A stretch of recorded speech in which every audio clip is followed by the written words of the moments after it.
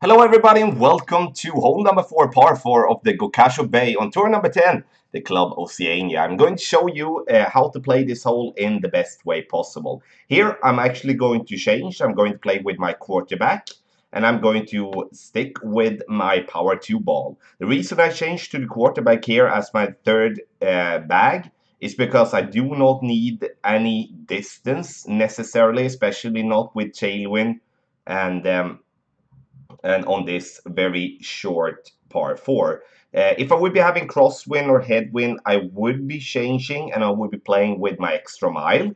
Uh, as I do have in bag number one or bag number two. You can of course play this one with an extra mile as well or with whatever driver and that's the reason I want to show you that you can actually play it with a quarterback and it's going to be more helpful for you in terms of uh, getting it to fairway uh, so you don't have to struggle with judging like how far it's going to go with tailwind for an example.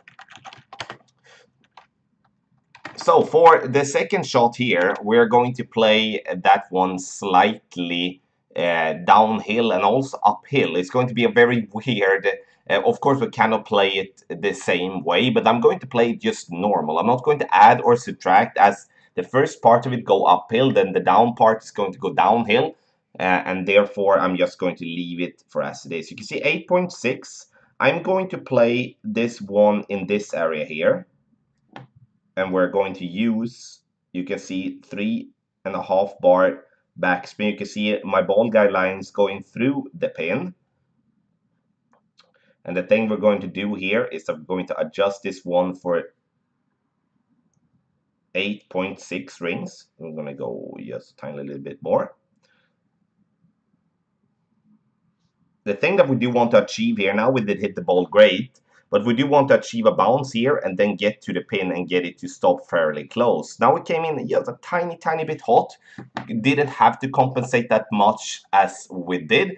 Uh, but you can see the trick here. So to just summarize with the elevation, it's 10% downhill for the drive, it's then no elevation either uphill or downhill for the second approach. And this is a par 4 where we will not see that many eagles. So just make sure that you have your drive on fairway so you can go for the pin in two. But don't be uh, don't be mad if you do miss because then you will get another chance in the shootout. If you do want to get the text guide for tour number 10, then check out patreon.com slash golfclashtommy. Good luck on tour number 10.